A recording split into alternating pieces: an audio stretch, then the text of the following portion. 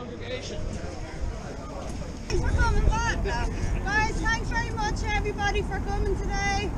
We all know why we're here for our very special friend Graham Murray. For those of you that don't know Graham, Graham was a very special friend to many people here. And yeah. Fuck off!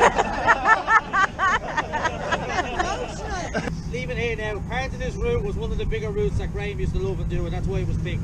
We used to do scaries at Donna Bay regularly. The end of it was down to the first chip run that BOE ever did. And he... was- Right!